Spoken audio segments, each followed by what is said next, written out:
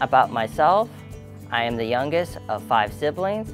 I was homeschooled by my mom all my life. My ambition is to help and tutor people who struggle in the math curriculum. If you want to learn more, tune in to my ASPIKA Talks.